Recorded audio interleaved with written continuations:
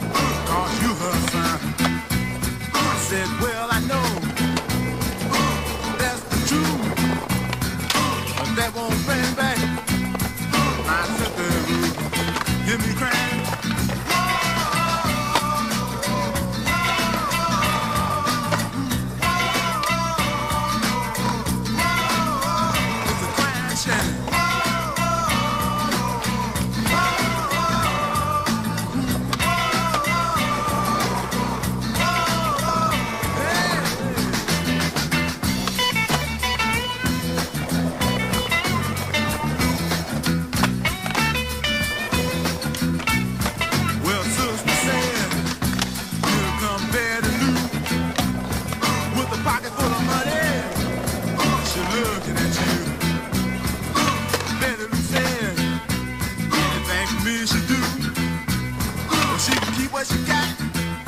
I want my sympathy. room. Hear me crying.